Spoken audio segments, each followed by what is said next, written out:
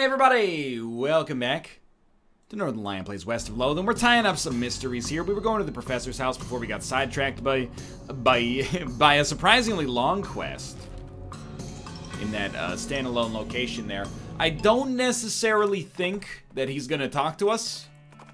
He did not talk to us, but I think we will fabricate a battery. We don't have enough to fabricate keystone. Sorry, we do have enough to fabricate a keystone. We don't have enough to fabricate another battery. I think I'd rather just save my my scraps for the next keystone. And I'm gonna ride out here, and then basically we're just gonna wander until we find another monolith, I think. The beeping of your El Vibrato transponder leads you to a hulking robot standing motionlessly out in the desert with the vulture perched on it. Yeah, okay, well, I mean, like, you're really bringing this upon yourself. Uh, if you could perhaps give us enough scraps. Yeah, okay, so we have enough scraps to build the second battery yet, but we're already out here. Why not just uh, hit the map and wander a little bit? I will say, like, I we've kind of run out of steam as we've gotten a little further on into the game here. Uh, I think we just maybe through random happenstance, like, solved the quest in Frisco before we should have. Made the third act seem shorter than it should be. Um, and we, we kind of were bereft of mapping locations. So I hope you'll forgive me the dalliances of uh, kind of wandering around here trying to find new quests because we still have open lines. We could quote unquote finish the game, but I don't think, as you saw in that quote unquote final cutscene, we still have a lot of loose ends to tie up. Like we got to stop the cows and the necromancer. So we're gonna check out the jeweler's cabin. You nudged him in the direction and find a cozy looking cabin nested in a copse of pines. The ground outside is sparkly and rainbow tinted, a telltale side effect of the practice of the jeweler's trade. Check it out now. Funk's soul brother. Right about now. Goblin. I do love the goblin speak. First, let's rob him blind. This is the goblin's bed, maybe? This appears to be their dining table, but they've left out a stack of magazine for customers to look at while they're waiting. They're all in goblin, though. Most of them are goblin celebrity gossip, and the crossword puzzles have already been filled in. Your eyebrows are getting kind of wild. Pluck them. Flush the toilet. Wonder how close we are to flushing every toilet in the game. Oh, hello, a customer.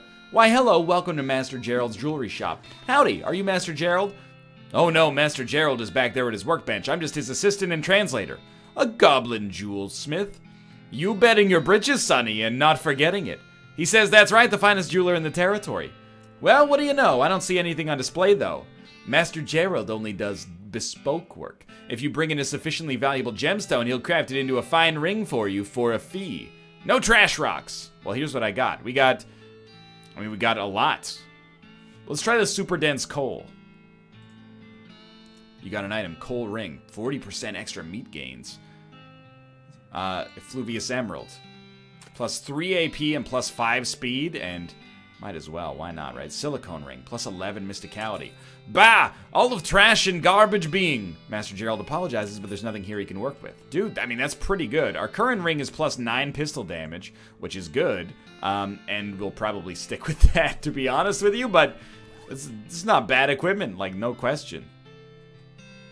Uh, can I, can I speak to the goblin directly? No. Alright. I mean, still worth it. We got some rare items, although we don't have very much space, uh, or very much meat left, I should say. You see familiar outline of an army fort and zag Tim toward it to investigate. The sign says fort unnecessary. Don't do it, Tim. It's a, you're too close to the edge. Who do you think you are, a prog rock band from the early 1980s? Fort unnecessary. A harried-looking young woman in a military outfit darts in front of the door as you enter. Oh no, I can't be having any more misfits in this jerk ward. You can either swear to me that you're halfway competent, heck, even a quarter, and that you'll help sort this crew out of no-hopers, or you can turn right back around and march out double time. Sure, I'll help. All right, I'm gonna hold you to that promise. Come on in, I'm Captain Harriet Davenport. My name's Northernlion. What's the problem, Cap? Problems! Welcome to Camp Fubar, where the army's all idiots and rejects are sent so they're out of the way. Where all the army's idiots rejects are sent so they're out of the way. I have had it right up to my eyeballs trying to run this place. Please help these morons figure out their malfunction so they can muster out of here and leave me in peace. Good lord. Can you give me some details? You'll need to talk to them individually for more information, but the brief is we got a scout who's blind as a bat, a cook who can't figure out how to make corned beef hash on toast, a guy who can't load and fire a cannon without it blowing up or maybe shooting backwards, a guy who somehow, and I can't figure it out for the life of me, is too bow-legged to ride a horse, and a kid who was sent here because he can't figure out how to tie a bow tie. Oh, and just to put the icing on the cake, we have infinite goblins living in our storage shed. Wow, okay, I begin to see the scope of your complaint. Pal, you are not just whistling Dixie. So what did you do to get sent here? You can hear teeth grinding as she growls at you. Do not ask. Okay, well, let's, let's start it up. This guy squints real hard as you approach. Howdy, do I know you? Your fuzzy silhouette don't seem familiar. Nah, I'm just passing through. What do you do here? Well, I'm supposed to be a scout, but I went and broke my only pair of glasses. Without them, I can't see a dang thing. Could try to get you a new pair. I'd be much obliged. I hear tell there's a jeweler not too far from here. He could probably grind me a pair of lenses. Just tell him to make them thick as a Dickens. Well, let's knock that out first so I don't forget. This guy's gonna run me out of meat. I can live with it. Uh, an ancient seaweed draped skeleton is shambling toward you, hissing and moaning. Oh, huh, I guess we must be near the beach. How do you determine where the desert stops and the beach begins? I don't really know how to tell the difference between desert and sand and beach sand. Hass! well. Dude, if we ever face one enemy, you could give a million HP, we're gonna win. We got a sea skull, plus 13 spell damage. A lot of unique skeletons in this game. Hello. Again, I need glasses. I need a pair of eyeglasses for a nearly blind watchtower lookout. Can you guys make them for me? The clerk translates the question for Master Gerald, who thinks about it and then nods.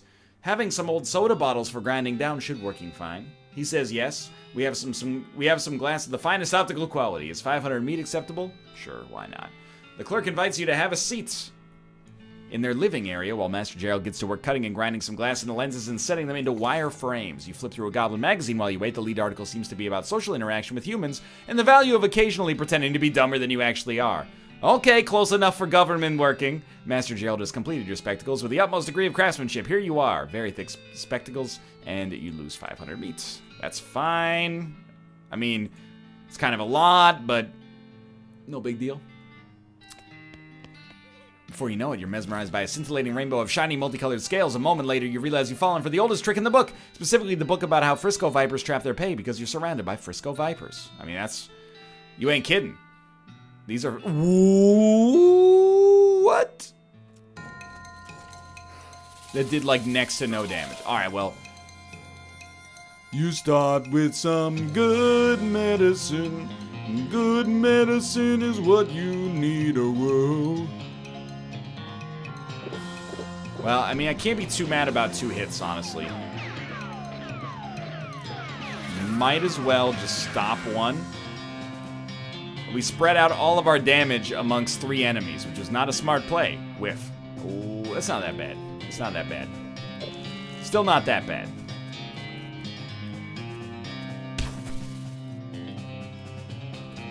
You know what? Maybe I'm an idiot. If we want to fan hammer an enemy, we might want to shoot the fan hammer at the enemy at the back, and then it will work. Yeah, I might be a moron. Okay, where's our uh, emetic?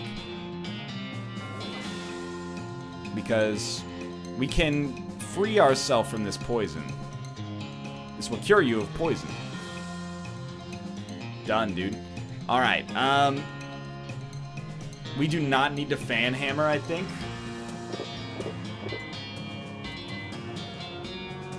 We might as well just... Uh, good medicine? Your love is like good medicine. We don't need to do that. I mean, we could just use, like, infinity trauma kits as well.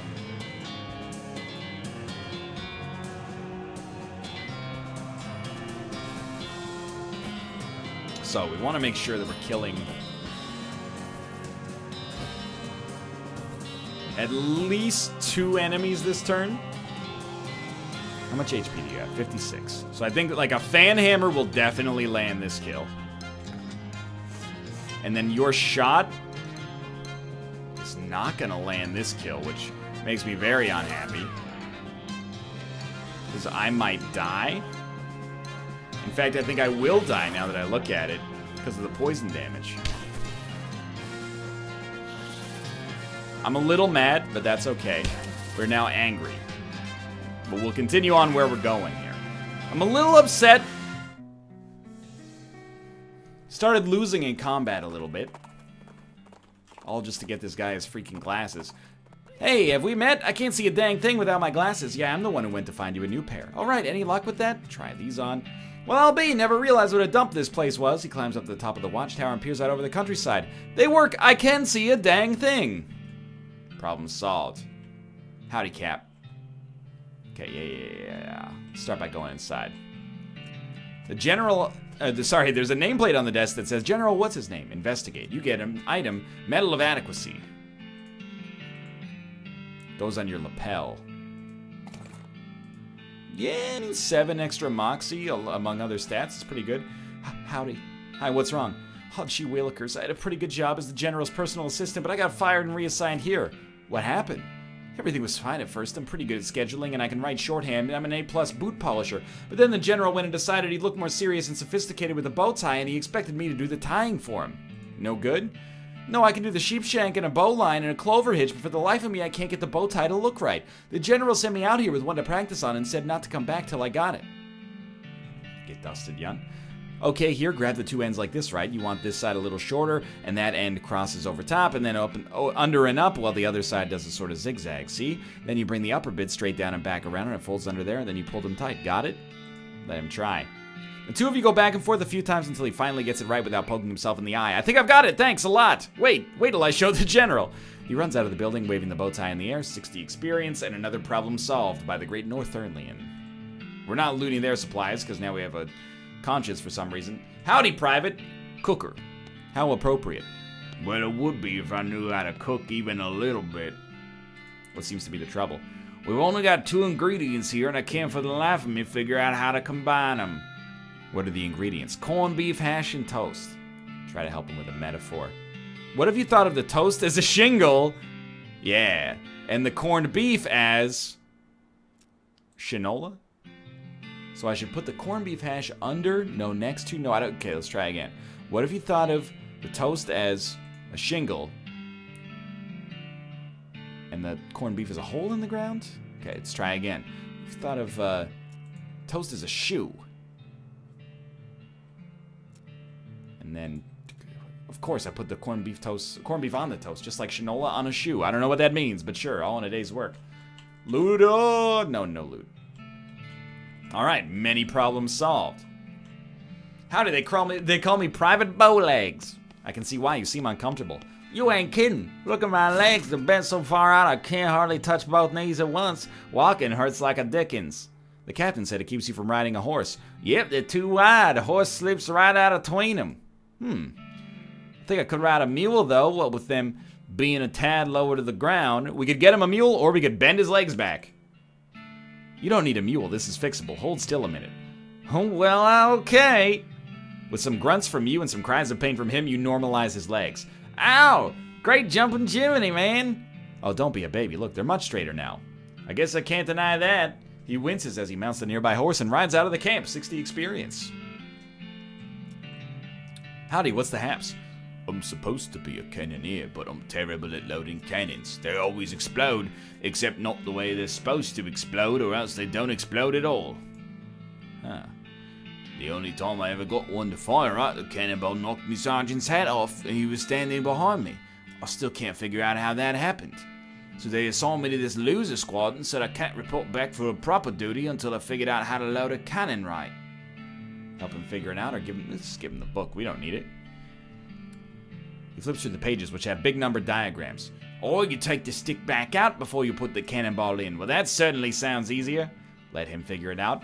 He successfully follows along the directions of the book and successfully fires a cannonball over the wall of the fort. I did it. Wow, great. Thanks a lot. I'm gonna go get my new assignment right away. We run this joint! A sign on the front says, important gun storage, no goblins. You open the door to take a peek, and naturally the shed is crammed full of goblins. To the ceiling. They're barely recognizable as goblins. You try and talk to them, but they're just babbling incessantly. Dude. A single goblin stands no chance. Got goblin absinthe. I'm assuming that that's... I mean, they said infinite supply of goblins, so... Great job, that's everyone dealt with and out of here. And that means I'm finally out of this hellhole too. If we ever cross paths again, I'll really owe you one. Captain Davenport free- frisbees your clipboard, snaps you a salute, and marches out of the fort. You gain 300 experience, and I am a god. Teach me some more of the language. We've earned it. An angry looking skeleton with a mining pick is stalking you. I guess now that I think about it, most skeletons are pretty angry looking. Now, this combat is silly. But for some reason, I didn't feel the same way about uh, the snakes we fought earlier. You ride past a woman who is running along the desert trail, and although I say running, it is a slow run with an odd loping gait. She's dressed oddly too. No hat, just a thin strip of fabric tied across her forehead, light clothing, and strange, soft looking boots that barely even come up to her ankles. Uh, everything alright? Are you running away from something? Something pretty slow, like maybe a desert tortoise, or. No, no, I'm jogging. What? Jogging! I invented it. It's like slow running. Where I from, where I'm from, we just walk. It's better exercise if you go faster. Not fast enough to actually get away from anything though. But full out running wears you out. That isn't as healthy. It's healthier than being eaten by a bear. I look, I'm not being chased by a bear. I've never been chased by a bear. Yes, that's obvious. You're alive and not mangled lumps. This is about physical fitness. Bears aren't an issue. Okay, you're right. Thank you. There aren't many bears out here in the desert. A pack of coyotes, though, you'd be in real trouble. This is a very frustrating conversation. They tear you to shreds even without those goofy looking shoes. Hey, I designed these myself. They are not goofy. They're pretty goofy. I mean, what good are they if you can't even run properly in them? What? They don't prevent, and they certainly aren't going to protect your ankles from coyote bites. They'll be perfectly good for kicking your butt. Gosh, all this exercise has made you kind of belligerent. How about you see if you can catch me? You ride away, the jogger runs after you for a bit, yelling, but as predicted, she can't catch you. Gotta be the shoes. Get extremely dusted. Hey, I would like to find some. I mean, that's. Oh, chest full of medals. Plus nine moxie, that's pretty good. And whoa, a medical gun. If you don't think about it too much, a pistol is just a more effective syringe. Let's, like, hang out here. Susie, you got anything for me? What do you think we should do next? Any other ideas? She's got no ideas for side quests, dude. We're just kind of wandering around here. Let's go back to the abandoned mine. There's a lot of open space around here. You're ambushed by a cow who was hiding behind a nearby billboard. Big billboard, big cow. My favorite show on TLC. Whoa. You made hamburger of that cow. No, I mean like figuratively. Maybe I should have chosen a different idiom. I can see how that might have been confusing. You get infernal leather. Susie's become stronger, thankfully. We needed that. 337 meat is no joke. And then at this mine... Well, how much experience do we have? 1900? Uh, so I'm going to level up Shooting Annie because I'm an idiot.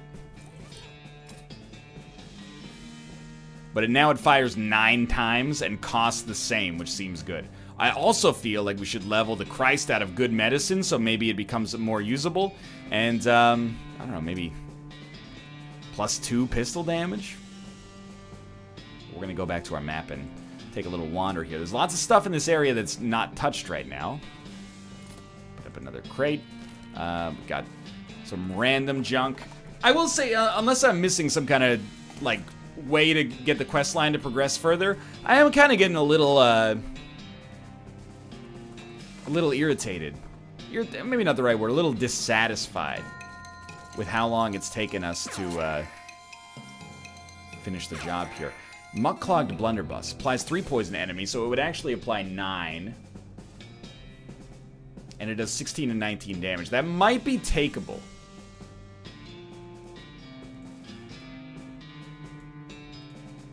So right now we're using smoking gun sets enemies on fire. So it can do 15 fire damage and it does 13 to 17 damage. So it's a better gun and it does pistol damage, which is better for us.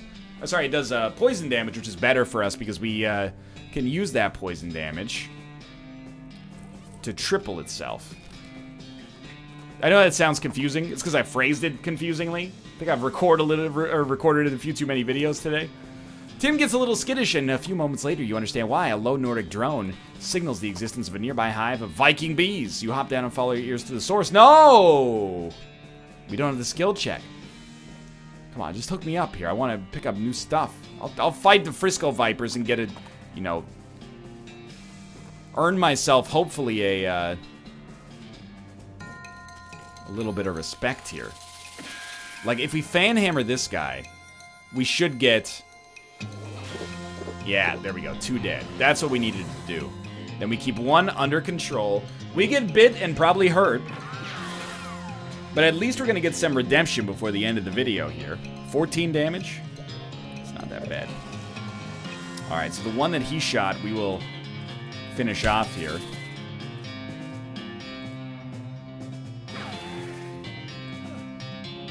And we should really just go for broke. There's not really much strategy at this point beyond just shoot the snake. I want to see how much poison damage it does, but we're one-tapping these enemies now. Uh, lots of snake stuff. Put it on your hat to add plus three to all stats. It's very good. So right now, um, on our hat, we have plus six Moxie. We might rather have plus, uh... Well, the snakeskin hatband, what is it? That's plus three to all stats or something? I can't remember. We might have a hat that's better at this point, though. Like, anything that gives me... It's all mysticality. I want plus two armor, plus two moxie. Well, what if we did plus two armor, plus two moxie, but then on this we put uh, Frisco Viper skin. Now we have all stats attached there. That's like a killer hat right there. Plus, we look like a fake Pope, which is just a beautiful little juxtaposition. Okay, we're in uncharted territory. With a spooky combination of hissing, chattering, and clanking, an ancient skeleton rises out of the sand in front of you. He's wearing dented and rusted antique armor and a long handlebar mustache. Must, must be an ancient explorer or would-be conqueror. Hopefully the former, because he doesn't seem to have been much good at the latter. How does your mustache stay on? Hass! Do you use glue? Hass! He will be fought. I'm not going to give him the runaround like a Blues Traveler song. 60 XP and Old Spanish Sabaton. Come on, I'm feeling... Is there really nothing there? What do these dots represent? Uninhabitable space? You come to a treacherous canyon. Fortunately, someone has thoughtfully provided a log for you to cross on. Unfortunately, it isn't as wide as your horse. Carefully lead your horse across. You gain 60 XP. Alright, well, uh, why don't you take me all the way up to Deepest Delve Mine and see what we find along the way? Nothing. Why don't we wander around a little bit? More snakes. What happens if you just surrender? You just gain an effect, angry. I'm gonna give this one more wander. We discover a new location. You see wisps of smoke rising above the pines nearby and spur Tim over to investigate the source's little shop, nestled deep in the forest, almost as though the proprietor doesn't want customers to find it. You jot down the location on your map so you don't forget where it is. You discover a new map location, Halloway's Hideaway. Halloway, I'm begging you, advance my quests. We are going to shovel this forest clean of swirl dro of squirrel droppings, not swirl droppings. Man, nothing, huh? Oh, howdy! Name's Halloway, Hab Halloway. Sorry for the chittering, I ain't seen another person in a long time. That's not surprising, this place is pretty secluded. What do you do here? Mostly I sell pine cones to squirrels. He frowns. Alright. Halloway chews on something he said store away in one of his cheeks. Let me see what you're selling. Dude, maybe the clip-on would have worked. Buy all of the needles. Buy the jar of peanut butter. Reduces your moxie. I was thinking about buying the jar of peanut butter just because we might need it for a quest, but apparently not. You got anything else? Well, see you later. Nothing, huh? Well, I'm kind of at a loss, but we'll be back with another episode tomorrow to try to piece this together. For now, thanks for watching. I hope you guys have enjoyed the episode, and yeehaw! People with West of Loathing on Steam if you're interested.